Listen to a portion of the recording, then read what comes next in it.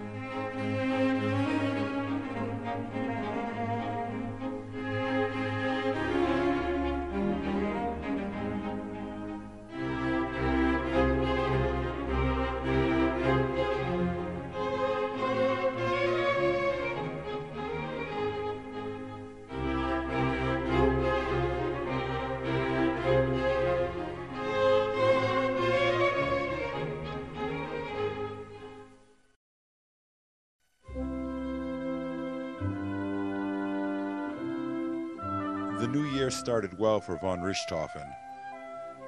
Christmas had been pleasant when Manfred's father, the major, took leave from the small garrison he commanded near Lille and joined his son at Jasta Boelcke.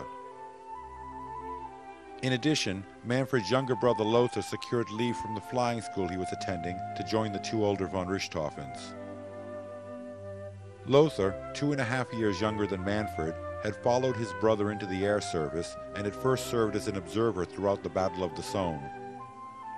He made his solo on the day after Christmas 1916, with both his brother and his father in attendance.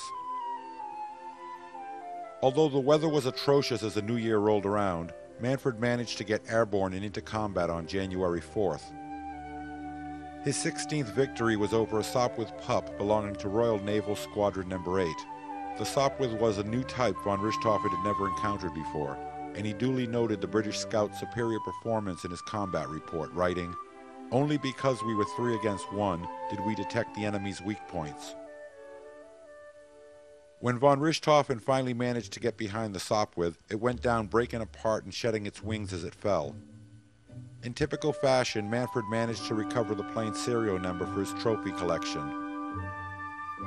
Victory number 16 was to be von Richthofen's last combat in an Albatros D2. Three days after shooting down the Sopwith pup, Jasta Boelcke began receiving its first allotment of the fatherland's newest fighter, the Albatros D3.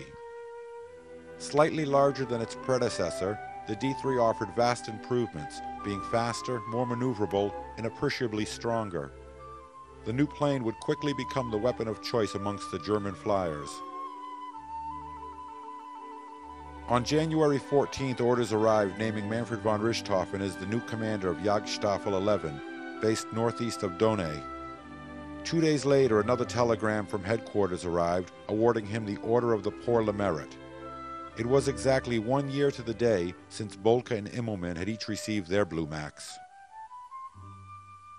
Jasta 11 had been formed three months earlier, but due to poor training and lackluster leadership, had so far not scored any victories. It would be von Richthofen's job to turn the squadron into a first-class fighting unit. Upon arriving at his new command, von Richthofen found a willing, if not experienced, group of flyers. There was Karl Allmenröder, the son of a Lutheran pastor who'd been studying to be a doctor when the war had interrupted his plans, and Karl Emil Schaefer, a 27-year-old Bavarian who, like von Richthofen, had begun the war on the ground. Kurt Wolff was a frail, popular 21-year-old who'd been with the Jasta since the previous November, but, like the rest of his squadron mates, had failed to score even a single victory. Under the tutelage of von Richthofen, these men would soon join the ranks of some of Germany's most celebrated airmen. Just as Manfred von Richthofen had devoted himself to learning all he could from his master, the great Oswald Boelcke, he now became the teacher himself. With von Richthofen leading, his pilots became eager students, and the results were immediate. As the confidence of Jasta 11 grew, its victory tally against the British began to climb. Von Richthofen would often lead the entire squadron in formation, sometimes sitting at the head of a dozen machines. Traditionally, a flight leader would attach colored streamers to the struts of his airplane to more easily identify himself to his pilots but in the excitement of battle, with planes spinning and mixing in a free-for-all, the identification streamers might be difficult to discern. In a moment of inspiration, von Richthofen had his Albatros fighter painted bright red from nose to tail. Now there would be no mistaking which machine Manfred flew. Before long, every British flyer would come to fear the all-red machine, and the legend of the Red Baron was born. Eventually, the other flyers of Jasta 11 would also begin customizing their aircraft with a myriad of individual colors and designs.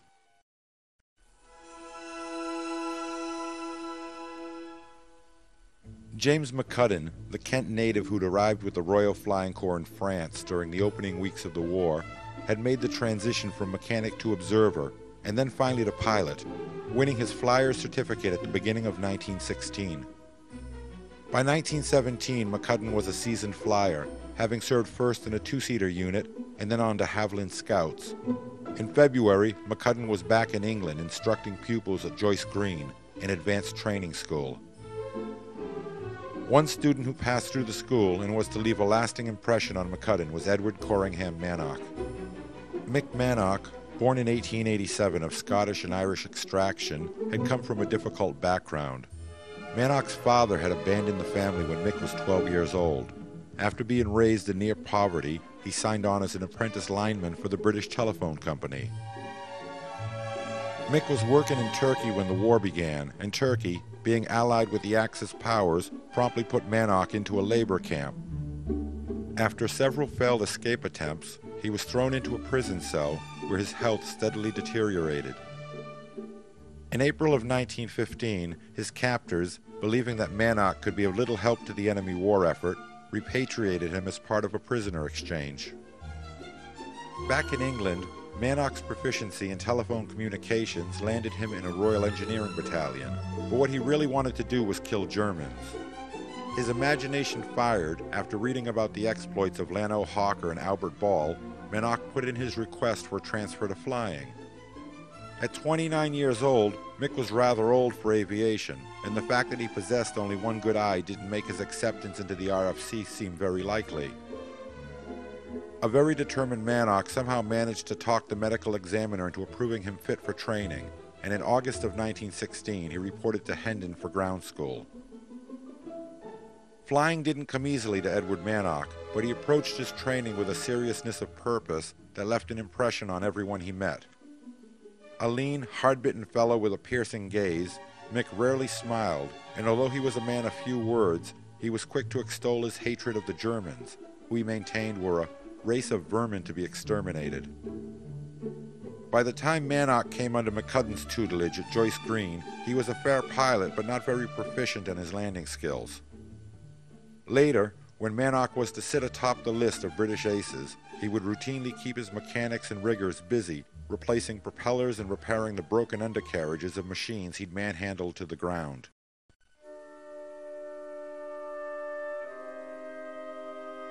On March 10th, Lothar von Richthofen reported for duty at his brother's squadron, Jagdstaffel 11. For Manfred, now the undisputed leader amongst the German aces, with 25 victories, it had been no problem to arrange for his younger brother's posting to the unit. In temperament, the brothers were very different from one another. While Manfred was the quintessential Prussian aristocrat, reserved and professional, Lothar was outgoing and likable, the life of any party and highly popular with his squadron mates.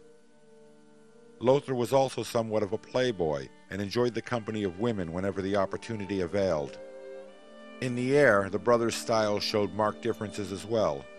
Manfred had established his career with the instinctive cunning of a seasoned hunter, with great patience and never attacking from the position of a disadvantage. The older von Richthofen didn't believe in taking risks. Lothar, on the other hand, was somewhat of a hothead in the air, bold, impulsive, and all too quick to hurl himself at the enemy regardless of tactical situation or odds.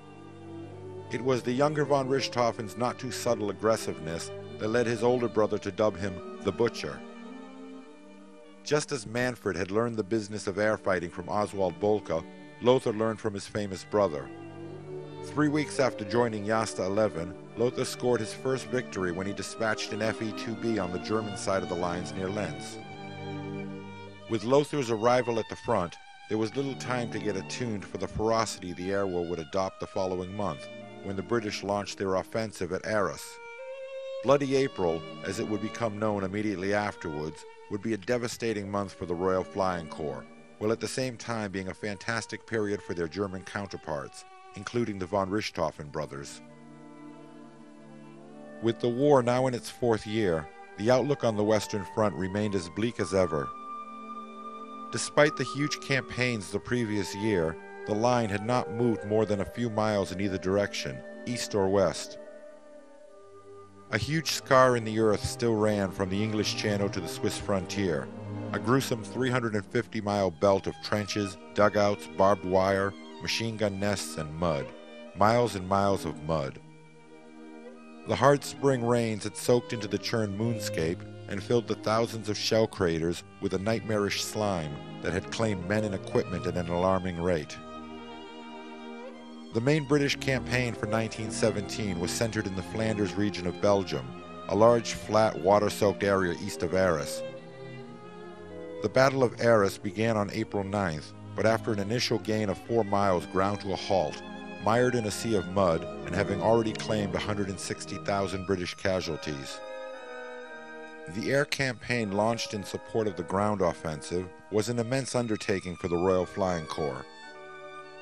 50 British squadrons, made up of 750 machines, were arrayed along the front where the battle would commence.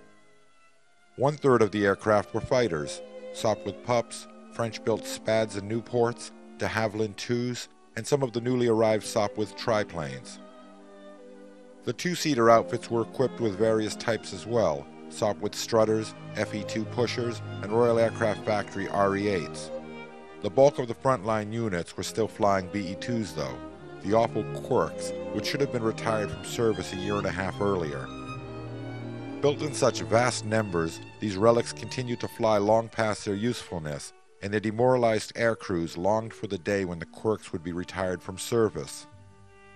The coming battle would effectively fulfill their wishes. On the German side of the line, the Jagdstaffeln stood ready for the coming offensive.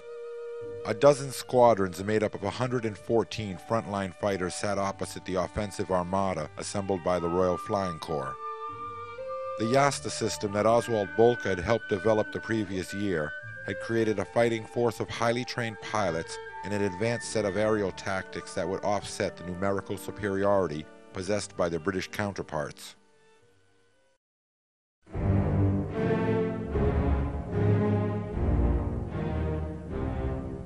The month of April began without the slightest hint of the ferocity the air battle would assume over the coming days.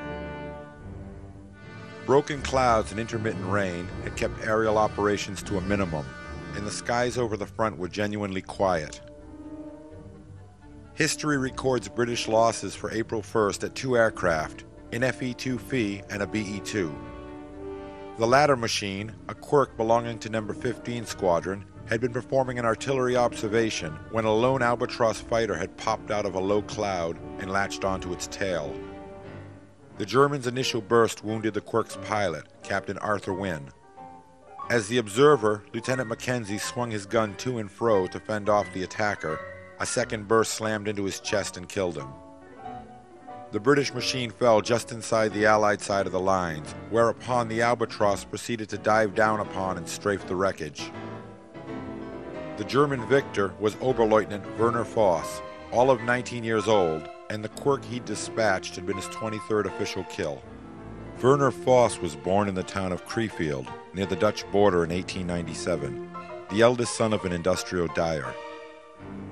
Barely 17 when the war began, Voss immediately enlisted as a ground soldier and performed with distinction on the Eastern Front, winning both the Iron Cross first and second class before transferring to aviation. In November 1916, a month after the death of the great Oswald Boelcke, Voss arrived at Jasta II, having recently earned his wings as a Jagdflieger. Even as a member of Germany's greatest fighter squadron, it did not take Voss long to establish himself as one of the best pilots in Jasta Boelcke. Superb flying and a keen eye for shooting were attributes the young man possessed in abundance, and before the month was over, Voss had knocked down two British machines, and was on his way to proving himself as, arguably, the most gifted flyer of the war. When von Richthofen left Jasta Boelcke a month later to take command of his own squadron, Voss took the Baron's place as a flight leader. The harsh December weather curtailed most of the frontline flying, and Voss scored only once during that month, downing a Quirk which fell inside the German lines. As the weather improved in February, however, the still 18-year-old Voss flew almost non-stop and drove down another eight enemy machines, bringing his score to 11. March turned out to be a remarkable month for the talented young man as he added yet another 11 victories to his score. As the Great Air Battle of April 1917 began, Werner Voss stood poised for a remarkable career that would culminate five months later in what remains one of the most celebrated dogfights in the history of warfare. The Arras campaign proved to be a tragedy for the Royal Flying Corps. By the end of the month, they were to lose over 900 pilots and observers, fully one third of their air crews. Hopelessly outclassed by their German counterparts, squadron after squadron of Fees and Quirks were decimated as they attempted to carry out their missions in support of the battle raging on the ground. It was an amazing period for the German fighter pilots, described by one flyer as like sharks feeding on minnows. Scores of obsolete reconnaissance machines and outgunned British fighters flew daily against the packs of the newest Albatros fighters, led by the most experienced Jasta leaders. Virtually all the fighting was on the German side of the lines, which usually assured that the German victory claims got confirmed as the wreckage of British machines littered down on their side. For the British flyers, the prevailing westerly winds inevitably made the homeward journey a slow, nightmarish affair.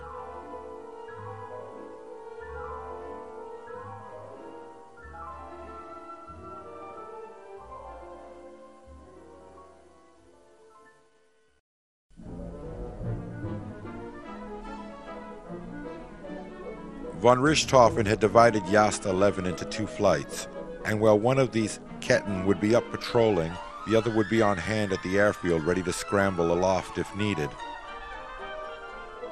On April 5th, the Red Baron led his Kette of five planes into the air after the telephone rang and reported a flight of six English two-seaters crossing the lines. The enemy planes were a type he'd never seen before. The planes were Bristol F-2Bs, a new design the High Command was pinning great hopes on. The Brisfit, as the planes would soon be called by their crews, had been designed to operate as a two-seat fighter. A 190 horsepower Rolls-Royce Falcon engine pulled the sturdy machine to the respectable speed of 115 miles per hour, and although large for a fighter, the new Bristol possessed decent maneuverability and a good rate of climb. The most promising feature of this new fighter was the armament. The pilot had use of a synchronized Vickers machine gun while the observer defended the tail of the plane with a pair of ring-mounted Lewises. While the Bristol F-2B represented a radical departure in the development of the fighter, the tactics employed by the first Brisfit crews would fail them, and the operational career of the new machines would begin disastrously. Number 48 Squadron was the unit given the honor of testing the new machine in battle. The commander of Number 48 was Captain W. Leefe Robinson, who'd been awarded the Victoria Cross the previous year for being the first pilot to shoot down a Zeppelin over English soil.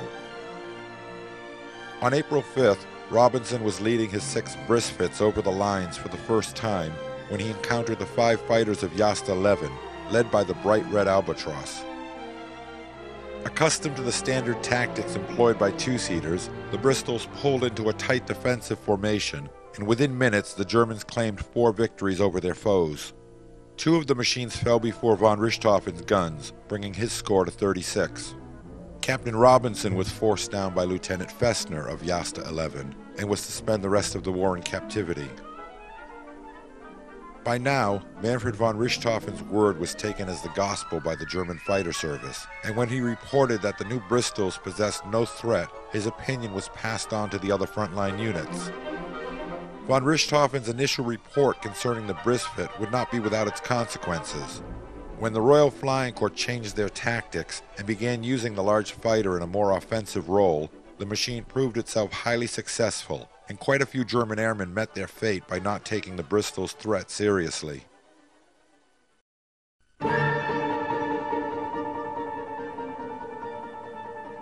One British airplane that was holding its own during the Arras campaign was the Sopwith triplane, which after being declined by the Royal Flying Corps finally found acceptance in Royal Naval Squadrons number 1 and number 8. Although they made their appearance in relatively small numbers, the triplane could handily outperform the Albatros scouts in such wide use with the enemy. It could outclimb and outturn the mainstay German fighter and was 15 miles an hour faster. As was typical of the English fighters of the day, the newest Sopwith was equipped with only one machine gun, whereas the German machines greatly benefited from the increased firepower their two guns offered. As reports of the Sopwith triplane's splendid performance began to trickle back from the front lines, there was discussion amongst the high command, and a notice was soon issued to the chief German aircraft manufacturers that the concept of a German-built triplane should be explored. While the Albatros and Pfalz firms did experiment with three-winged planes based on their existing fighters, it was Anthony Fokker's gifted design team at Schwerin that would eventually turn out a German triple-decker.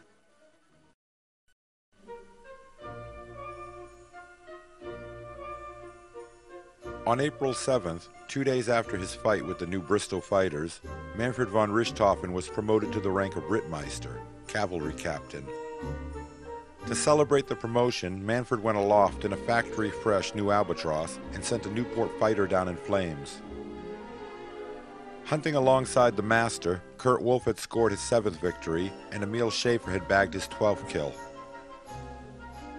On the same day von Richthofen received his promotion, Woodrow Wilson, the President of the United States, announced a formal declaration of war against the Central Powers, and America was finally committed to the fight against Imperial Germany.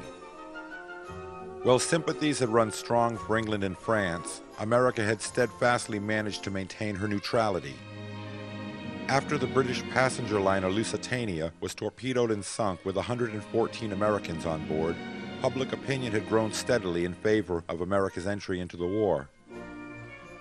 On March 1st, the famed Zimmermann telegram had been made public to further the outrage of the American people. The telegram had been a secret communique from the German foreign minister urging Mexico to join in an alliance against the United States. For the moment, America's declaration had little impact on the daily routine of the war. It wouldn't be until early November that American troops would actually appear in battle. But with war declared, thousands of young Americans queued up in the enlistment lines as the nation began preparing to join in on the great European conflict. The American public had eagerly followed the story of the Great War being raged in the skies over France. The exploits of the Lafayette Escadrille and the famous aces had captured the public's imagination and spurred hundreds of young men to sail for France, hoping to join the famous squadron. Others had slipped over the Canadian border and enlisted with the Royal Flying Corps. By April 1917, the Lafayette Escadrille had been expanded to the Lafayette Flying Corps to accommodate the influx of new volunteers. While the Escadrille still operated as a uniquely American squadron fighting under the French flag, the Corps was set up to absorb the overflow of American volunteers into regular French units. James Norman Hall was 29 years old when he turned up at the French flying school at Buc to begin his lessons. Hall, a native of Colfax, Iowa, was a journalist who'd enlisted to fight with the British Army and had served in the trenches through the end of 1915, before returning home where he settled in Boston and lectured about the war. A book about his experiences, Kitchener's Mob, sold well, and when the Atlantic Monthly magazine suggested that Hall return to Europe to furnish a series of articles about the Lafayette Escadrille, he again set sail. Once in France, and after spending time with the famous American volunteers, Hall could not resist the lure of what he deemed a great adventure and wrangled his way into the service. Although he would initially serve with the Lafayette Escadrille, as the Corps expanded, Hall was reassigned to Escadrille Spad number 112, where he served until October before being transferred back to the All-American group. After getting caught up in the story he'd been sent to cover for the Atlantic Monthly, Hall had never submitted the articles they'd hoped for, and after the war he would go on to pen a series of books, both fact and fiction, about his adventures, including a massive two-volume history of the Lafayette Flying Corps. April had ended spectacularly well for the Red Baron. On the 29th, he downed four enemy machines, including one of the Sopwith triplanes belonging to Naval 8. 20 aircraft and 38 men had fallen victim to his guns since the beginning of the month, and his score now sat at 52 kills. Jasta 11 wasn't the only unit that had shown such stunning successes throughout April, but they'd certainly led the pack in scoring. Lothar von Richthofen had shot down 14 planes. Emil Schaefer had claimed 15 kills. Kurt Wolff, like his famous squadron leader, had destroyed 20 enemy planes. And Heinrich Gontermann had claimed another nine victories. The month ended and von Richthofen was ordered on leave. With a simple handshake, command of Jasta 11 was handed over to his brother, before Manfred climbed into the back seat of an all-red Albatros two-seater and began his trip home. Across the lines, the Royal Flying Corps was in shambles. With one-third of its machines and men wiped out, the average lifespan of a British flyer at the front had been a scant two weeks. Overworked and forced to fly machines that should have been condemned a year or more earlier, men had been pushed far past the breaking point and now seemed on the verge of a total collapse.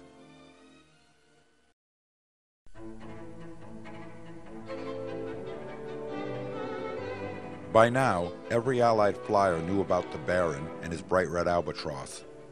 All of von Richthofen's flyers had taken to painting their machines gaudily, and the British pilots had returned to their home airdromes bitterly recounting tales of having run into the circus. One flyer who found himself in combat against the most famous of the German squadrons was Billy Bishop. William Avery Bishop was born in 1894 at Owen Sound, a port town on the Georgian Bay in Ontario. As a youngster, Bishop had shown little indication that he would one day be famous.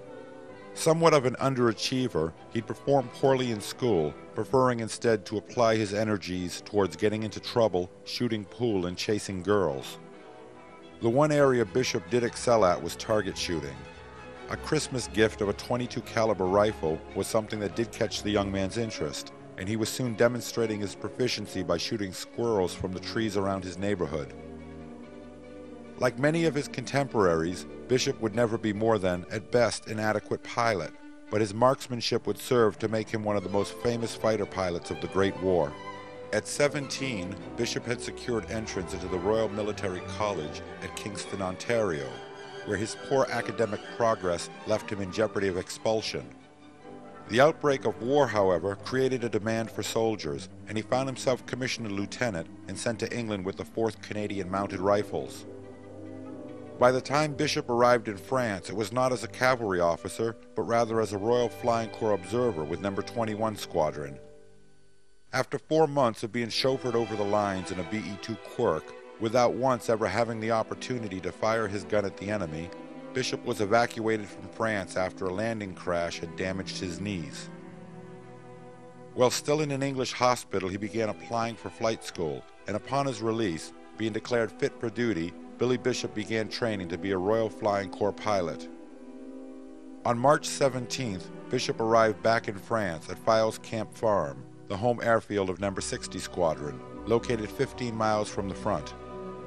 Although back in England now and working as an instructor, the squadron still carried the great ace Albert Ball on its pilots roster. At the time, Ball had 31 official victories. 60 Squadron flew the tiny French-built Nieuport Scout, Eight days after arriving in France, Bishop scored over an albatross which he chased down from 9,000 feet, firing until it slammed into the ground. The elation of his first victory was short-lived. Upon pulling out of the long dive, the Nieuport's Larone engine sputtered and died, and Bishop was forced to glide back towards the lines where he eventually came to Earth alongside an Allied anti-aircraft battery. Two days later, Bishop was back at Filescamp receiving congratulations for his first kill, which proved itself to be no fluke when he downed a second albatross on the last day of the month. Bloody April began, and No. 60 Squadron, like all the frontline British units, went on to suffer horrendous losses, with 18 of its pilots shot down during the month. By the middle of the month, Bishop was beginning to feel like an old-timer, as new faces arrived and then quickly departed from the ranks of the squadron.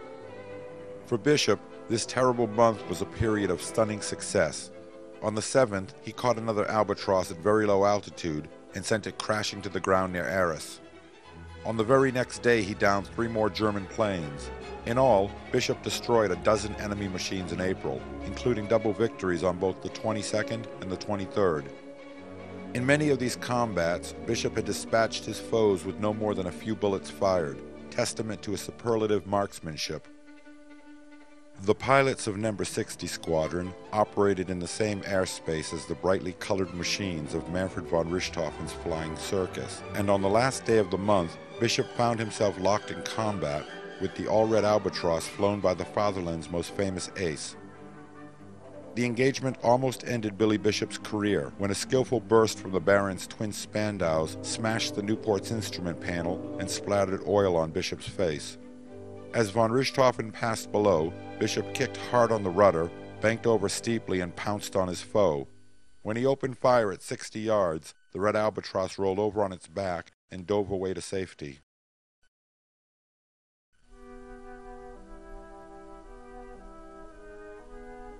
Another pilot who arrived at the front just in time for the April massacre was Edwin Mannock, posted to number 40 Squadron. Like Bishop, Mannock found himself in a British squadron equipped with French-built Nieuports, but unlike the Canadian, his first combat success was slow in coming. Plagued with his one bad eye, Mannock spent countless hours in the gunnery pits, and it wasn't until a month later, during the first week of May, that his diligent practice finally paid off. Mannock's first victory was scored over an enemy observation balloon. Observation balloons had been employed to direct artillery fire up and down the front lines since the early days of the war. Heavily defended by anti-aircraft guns, the gas-filled canvas bags would sway on the end of a steel cable, while an observer in a wicker basket provided the coordinates of the enemy positions via telephone. The balloons provided tempting but dangerous targets for the flyers of both sides. Attacking them involved flying through a hail of deadly ground fire while its crew frantically attempted to pull the bag back to Earth with a winch. Filled with hydrogen, the balloons were highly flammable, and incendiary ammunition had quickly been developed for use against them. For the pilot who survived the storm of fire coming up from the ground and managed to destroy the balloon, there was still the incredible hazard of the exploding gas bag to contend with. More than a few flyers were caught in the fireball and killed. On May 7th, after destroying the balloon that signaled the start of what would be a great career, an elated Mick Mannock raced back to his home airfield to spread the word. Upon arriving, he was greeted with a gloomy silence in the squadron mess. The greatest British ace of all, Albert Ball, had failed to return from a patrol over the lines. Albert Ball, after a stint at home in England training combat flyers, had returned to the front in early April now posted to number 56 Squadron. 56 had been formed to introduce the Royal Aircraft Factory's newest fighter, the SE-5, into action. The SE-5 was an impressive machine, fast, easy to fly, and built to absorb heavy punishment in battle. Originally introduced with a 150 horsepower Hispano Suiza engine, the plane would eventually reach speeds of nearly 140 miles per hour with later, higher powered variants. The plane was also the first British scout to come equipped with two machine guns. A single synchronized Vickers fired through the propeller, while a wing-mounted Lewis fired over the top wing. By the war's end, nearly 5,200 examples of this first-rate fighting machine would be built. When Albert Ball reported to 56 Squadron, he was assigned one of the unit's flights to command, a job the 20-year-old found irksome, as he'd always preferred hunting alone. Furthermore, Ball was initially unimpressed with the new SE-5 he was given and arranged to have a Nieuport delivered for his personal use. When the tiny Nieuport proved incapable of keeping up with the new machines the men he was supposed to be leading were flying, he made the switch himself and did indeed grow fond of the more powerful craft. In his short time with 56 Squadron, the young ace brought down four German aircraft, including a pair of Albatros fighters on April 22nd, which brought his official score to 44. On May 7th, Captain Albert Ball was shot down near the French village of Annoeullin. The exact details of his last flight remain a mystery to this day, but some facts are known. The skies over the front were very busy on that springtime evening, when Ball led a large patrol towards the vicinity of Cambrai.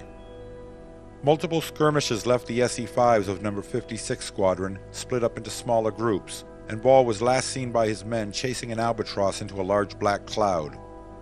Minutes later, his machine crashed to the ground near an abandoned farmhouse. Pulled from the wreckage by a local French girl, Ball was barely alive, having suffered a broken back and internal injuries. He passed away while still cradled in the young woman's arms. A few days after Ball fell, it was reported in the German press that Lothar von Richthofen, temporarily in charge of his famous brother's squadron, had shot down and killed the great English pilot. Well, the younger von Richthofen had indeed claimed a victory that day in the general area where Ball had fallen.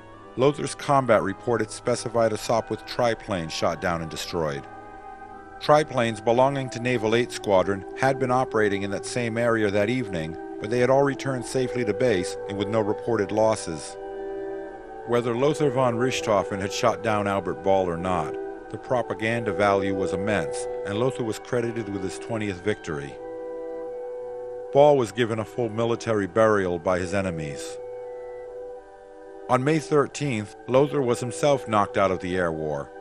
Hit by anti-aircraft fire, he was able to bring his Albatros safely back to Earth, but severe wounds to his hip would keep him grounded for the next five months.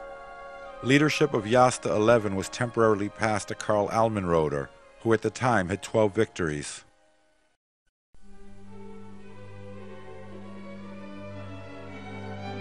In May, Royal Naval No. 10 Squadron became the third unit to be equipped with Sopwith triplanes.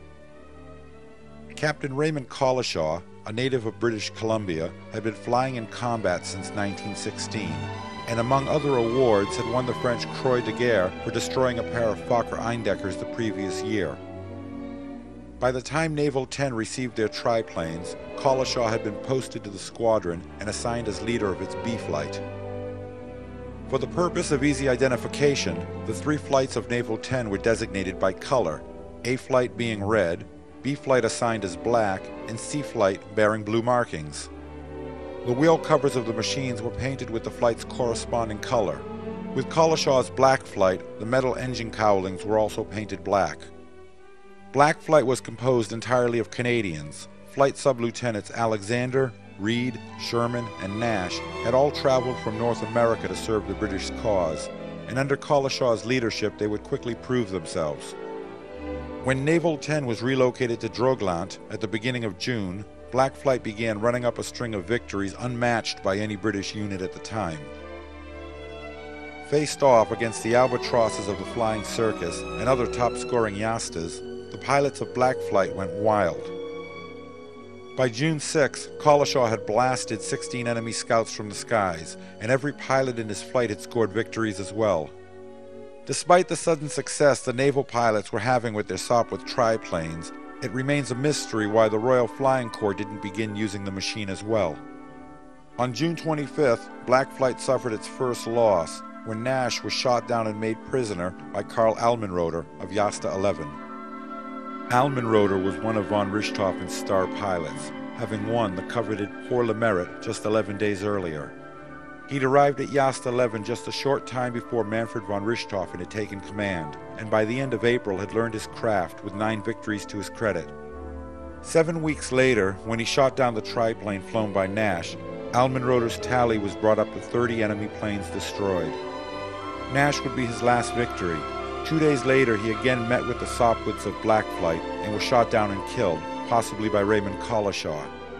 Confusion over the exact circumstances of Allmenröder's death stemmed from the very long range at which Collishaw shot at the German. At the time, he hadn't even bothered to put in a claim for the kill. At any doubt, after being fired upon, Allmenröder's Albatros was seen to go into a shallow glide, which eventually steepened before crashing into no man's land. That night, a German infantry patrol had gone out and retrieved the ace's body, and he was taken home to the Rhineland and buried with honors.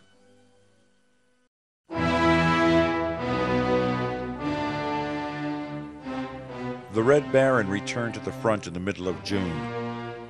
Six weeks out of the fighting had left him both physically and psychologically rested, and he was ready to get back into action the time he'd spent at home had nearly overwhelmed him for all the attention he'd received. A good portion of von Richthofen's leave had been taken up with official duties, official parades, round after round of posing for photographs with various dignitaries, an audience with the Kaiser, and appearances before school children and military leaders. Wherever the Baron was slated to appear in public, he was greeted by throngs of admirers and well-wishers. The highlight of von Richthofen's brief vacation was a special invitation to hunt bison on the centuries-old estate of Hans Heinrich XI of Lower Silesia.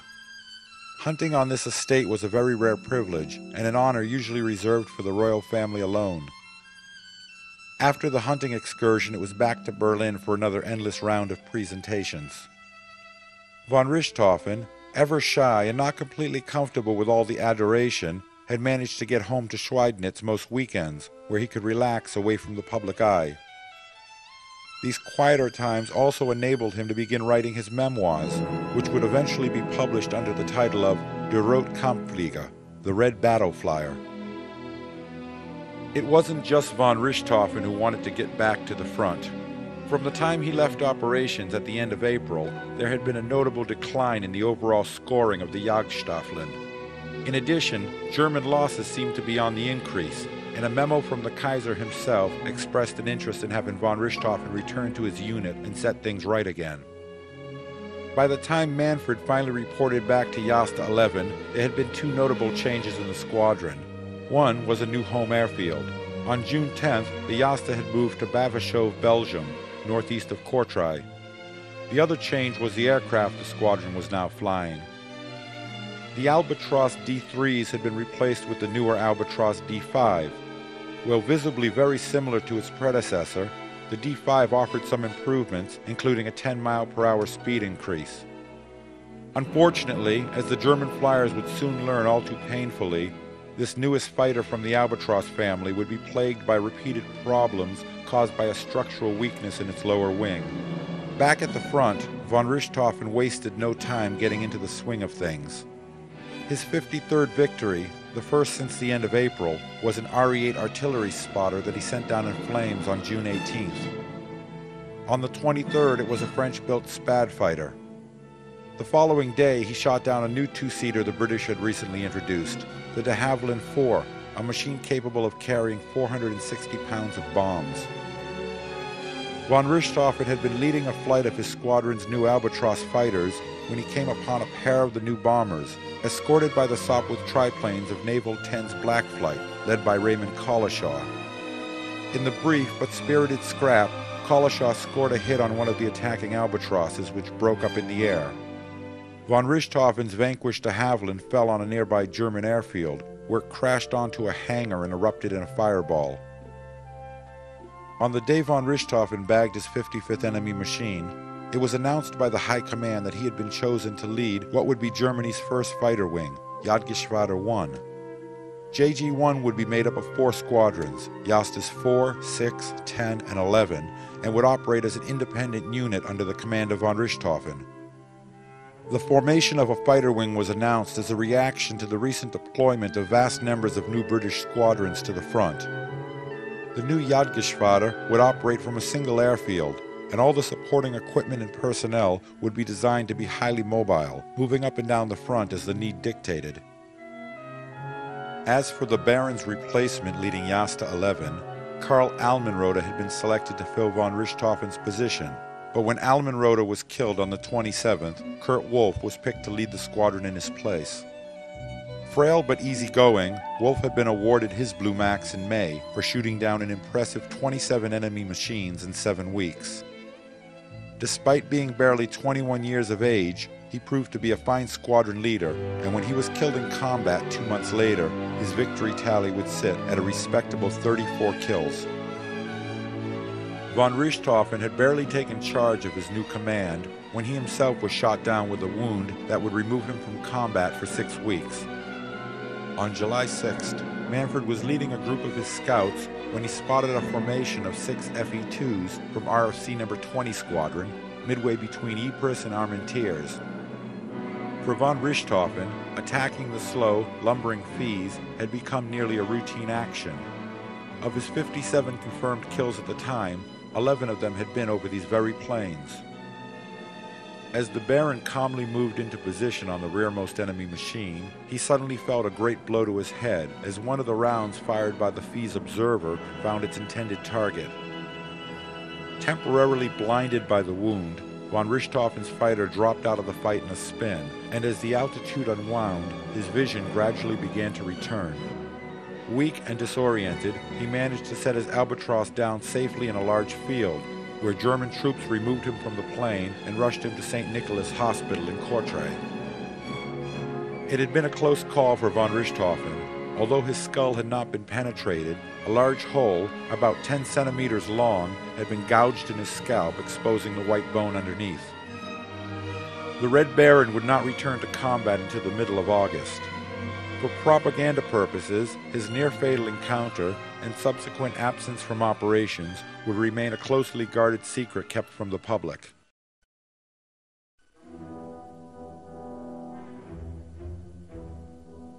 In August, after a lengthy stay in England where he'd been instructing, James McCudden returned to France to join No. 56 Squadron. Since the death of Albert Ball four months earlier, 56 had stayed in the thick of battle, had established itself as the Royal Flying Corps' best squadron. The SE-5 fighters they'd introduced into the air war had more than held their own against the albatrosses flown by their foes, and the newest variant, the SE-5A, was the fastest fighter in service at the time. There were few men serving in the Flying Corps who had witnessed the airplane's technological advancement the way James McCudden had. Beginning with the antique Farman biplanes, McCudden had a first-hand acquaintance with virtually every major type of machine that had passed through the service. After nearly four years of serving in the Corps, it was with the SE-5A that the seasoned pilot would finally find his fame. By the time he joined No. 56 Squadron, McCudden was already an ace. Once aloft with his new unit, he began to steadily swat Germans from the air, doubling his score in his first two weeks back in action. In the end, McCudden was to score 52 of his 57 victories while flying the SE-5A. Another excellent English fighter to recently arrive at the front was the Sopwith Camel. Short and stubby in appearance, the Camel was the next great advancement of the line that had begun with the Sopwith Tabloid, first flown in 1912. A 130 horsepower Clerget rotary engine powered the craft to 115 miles per hour, which was a respectable, if not remarkable, speed. That was only half the story. Owing to the shortened length of the airplane, the engineers of the Sopwith Company had created the world's most maneuverable fighter. They had also created a machine that was remarkably difficult to fly. Where the plane's direct descendant, the pup, had been a joy to take aloft, the Camel was a machine that offered its pilot not a single moment of relaxation. The strong torque offered by its powerful rotary engine ensured that the plane would immediately whip into a right-handed spin unless its pilot kept up a constant pressure in the opposite direction. The planes were difficult to take off and even harder to land, needing to be literally flown to the ground at high speed.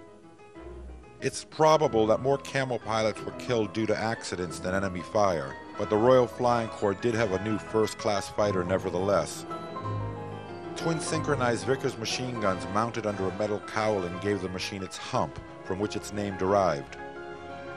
Between July of 1917 and the armistice 16 months later, nearly 5,500 would be built, and Camel pilots would account for some 1,300 victories.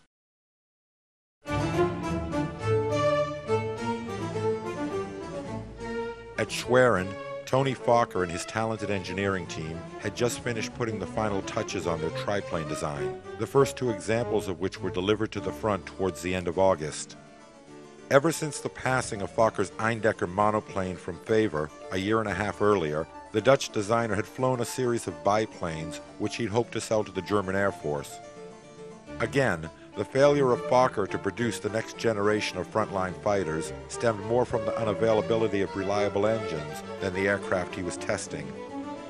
Still considered an outsider in Germany, his efforts to secure a share of the coveted Mercedes engines had proved futile. One engine that was available in abundance, though, was the Oberursel Rotary, a copy of the French Le Rhône. Inspired by the success of the enemy's Sopwith triplane, Fokker and his team went about designing a triple-decker of their own. The resulting Dreidecker, designated the DR-1, neatly circumvented the engine problem by creating a fighter that was exceptionally maneuverable and sported a remarkable rate of climb. With its short fuselage and stubby wings, the DR-1 could virtually turn around in its own length and climb a mile into the air in barely two minutes. Like all German fighters of the day, the plane was equipped with two forward-firing Spandau machine guns. The first two triplanes were delivered to Jagdgeschwader 1 for evaluation. Von Richthofen had returned to his command on August 16th, 40 days after he'd been shot down and wounded. One of the new Fokkers, painted bright red of course, had gone to him. The second Dreidecker was handed over to Werner Voss, now the acting commander of Jasta 10 and the victor of 38 air battles.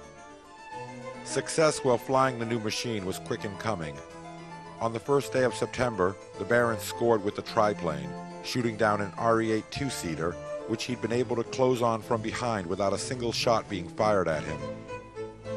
The RE-8's crew had probably assumed that it had been a Sopwith triplane behind them and had watched it approach without concern.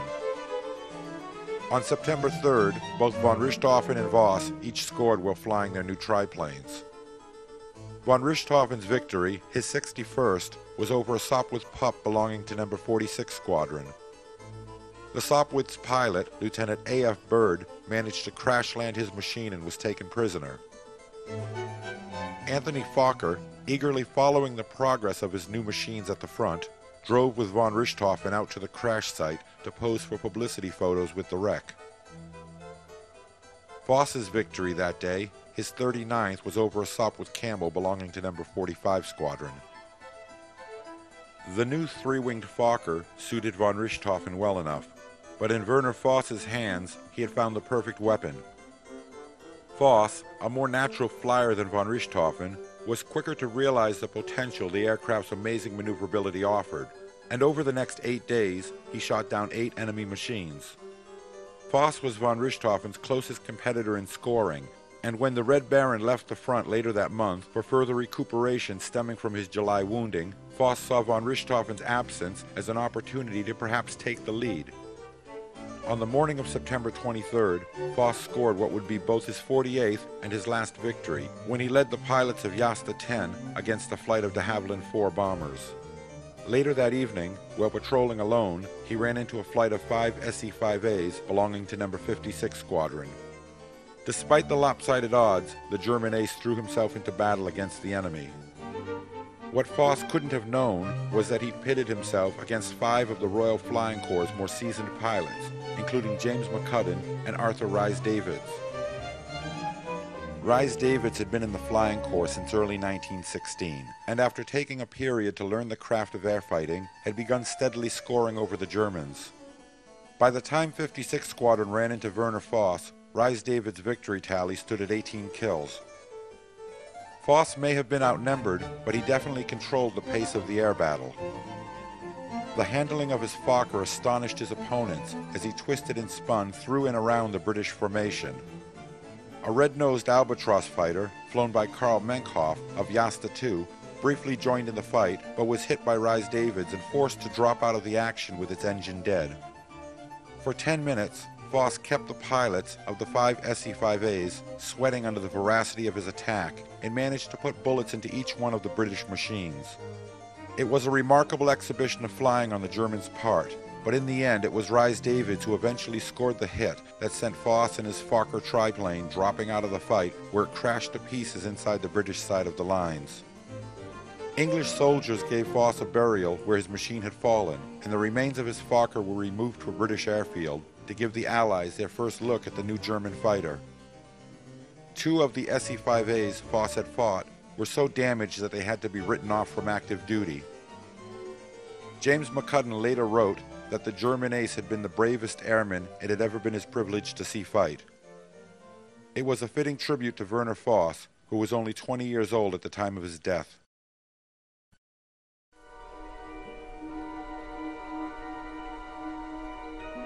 The French also lost one of their greatest flying heroes in September when George Guynemer fell. The first nine months of 1917 had been a busy period for Guynemer. At the beginning of the year, he traveled to the SPAD plant near Paris to work with the engineers on the installation of a 37mm cannon designed to fire through the hub of the propeller. The weapon did work, but due to its slow rate of fire would not be adopted by the service. The average pilot simply lacked the skills to maneuver into the close firing position required to score with the weapon. In George Guynemer's hands, the cannon proved reasonably effective, and he kept the SPAD with this armament as a backup machine. Springtime had been particularly fruitful. Guynemer flew his SPAD relentlessly, and by the end of May, France's ace of aces stood with a score of 43 victories. Captain Brocard, leader of the famous Storks group, wanted Guynemer to retire from frontline flying, or at the very least take an extended leave from combat. Never in the best of health to begin with, the young ace seemed physically to be on the decline. He'd grown even thinner, with his dark eyes sunken deep in their sockets. As fatigue had set in, Guynemer had grown more nervous and irritable on the ground. To those around him, it was obvious that Guynemer couldn't continue much longer at the pace he set for himself. On the last day of August, Guynemer reigned victorious over his 53rd opponent, a DFW which fell in flames over Poperinghe. The following day he was notified that effective immediately he was to assume command of Escadrille SPAD number 3, as a squadron leader, it was reasoned, Guynemer would have less time to fly. Guynemer hated his new job. Despite his wishes, he had been effectively removed from combat, and as the paperwork piled up on his desk, his favorite SPAD sat unused outside his office. By September 11th, it was all too much for the 23-year-old hero, who climbed into the cockpit of his fighter at 8.25 a.m. and headed out towards the front. Guynemer never returned from this flight, and as the anxious hours turned into days, and then the days turned into weeks, France mourned the loss of their most beloved flyer. To this day, there is no schoolchild in France who doesn't know the legend of George Guynemer, who they say flew so high that the angels wouldn't let him return to Earth. Escadrille SPAD number 103 of the Storks Group had received a replacement pilot in May who would go on to be both the highest scoring Allied pilot and the most successful flyer to survive the war. Rene Paul Fonck, born in 1894, was a trained engineer who'd taken up flying as a sport shortly before the outbreak of the Great War. Fonck spent the first year of the conflict engaged in bridge building, trench digging, and road repairing. The following year found him aloft over the front in Voisin two-seaters, first as an observer and then finally as a pilot. Once he reached the Storks and their Spads, Fonck immediately made his presence felt by the enemy, Within 12 days, he had become France's newest ace, having scored the requisite five kills to qualify. Fonck may well have been the best shot of the war. His marksmanship was remarkable. He never wasted ammunition, and many of the 75 kills he would eventually score were brought down with only a few bullets.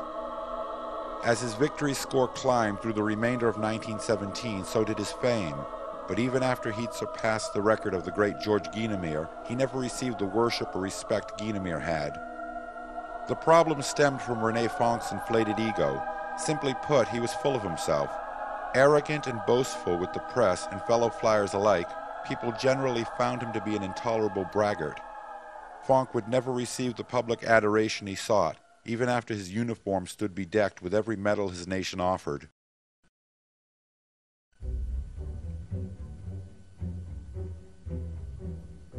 Beginning towards the end of September, the weather grew worse than usual and the pace of the air war slowed.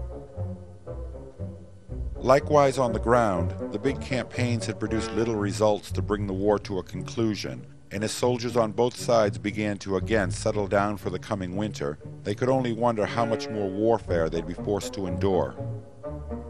The last British push of the year was centered around the town of Cambrai, where tanks were used for the first time to breach the barbed wire in front trenches.